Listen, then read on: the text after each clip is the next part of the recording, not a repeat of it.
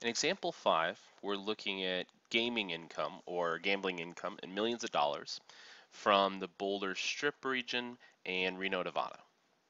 And we're asked, can we conclude that on average, income from gaming in these two areas is equal?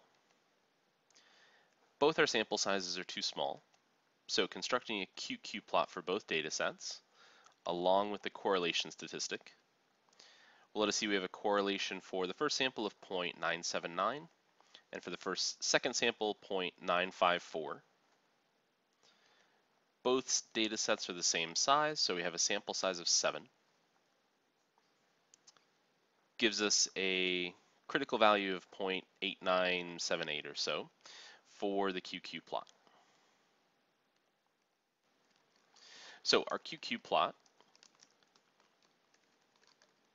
for Boulder has a correlation statistic of 0.979, which is greater than 0.897779, which is the critical value for the QQ plot. Our QQ plot for Reno has a correlation statistic of 0.954, which is greater than 0.897779, which is the critical value for the QQ plot. This means both samples come from normally distributed populations, and we can estimate means. So the 99% confidence interval estimate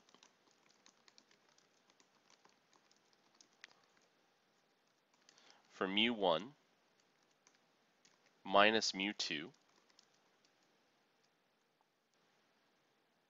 oops.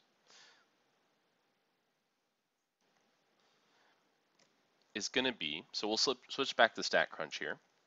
So since we're estimating means we'll go back two tstats to sample with data. Select our first data set second data set unchecking pool variances and set our confidence level to 0.99. And we get our lower and upper limit again.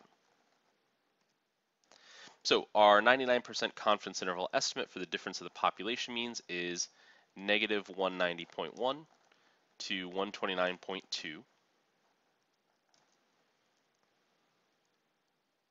So in this case, zero is contained in our confidence interval. Implying that mu1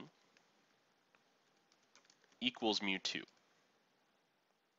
So in the context of the data, that would mean that the average income from gaming in these two areas is the same, which would support the conclusion. This means that the average income from gaming in these two areas is the same, which means, yes, we can support this conclusion. So since zero is contained in that interval, it's a likely value for the difference between those two population parameters. So meaning it's likely that the two parameters are equal to each other, meaning that income from gaming in the two areas is on average the same.